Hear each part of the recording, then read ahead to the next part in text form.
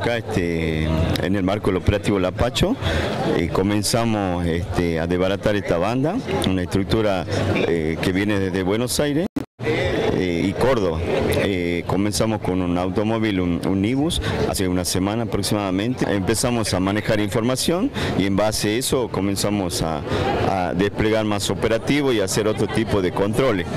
Y sucesivamente se fueron dando estos secuestros, dado que a, lo- a los dos días se secuestraron dos camionetas, dos Toyota SW4, también robadas. Después vino una tercera camioneta. eh, esta mañana dos camionetas más y así sucesivamente.